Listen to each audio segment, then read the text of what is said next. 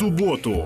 Врать ты все равно не умеешь, так что давай начнем с правды. Тупо сядешь. Вас Петраков срочно вызывает. Он вам одно новое дело хочет дать. По взятке. Желвес, пляши. Могу еще спеть, рассказать шутку и показать сценку. Безнаказанность рождает неосторожность. Теперь понятно, почему вы остальных чиновников не трогаете. А вы ехиднее даже, чем о вас говорят. А этот что, не колется? Тупит.